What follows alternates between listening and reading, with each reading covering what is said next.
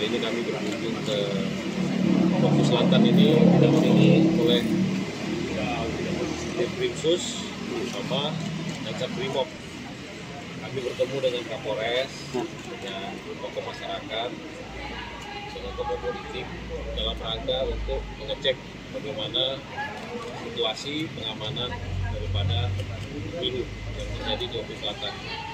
Dan kami juga akan mengecek kesiapan personil Polda Sumatera Selatan, khususnya Polres Lombok Selatan, dalam memberikan pelayanan pengamanan terhadap penghitungan suara yang akan dilaksanakan di Selatan.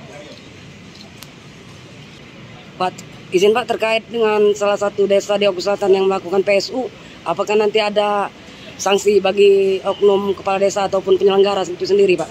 Kalau pelanggaran pemilu kan ada mekanismenya. Ya silakan melaporkan ke Bawaslu disertai dengan bukti-bukti. Nanti Bawaslu akan dibawa ke tingkat. Apabila terbukti nanti akan kita lakukan. Tapi kalau tidak, yang melapor harus membawa bukti karena tindak pidana pemilu ini kan dibatasi waktu 14 hari.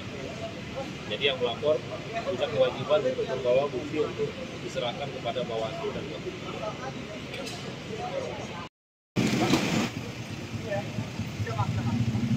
iPhone and the Pepsi.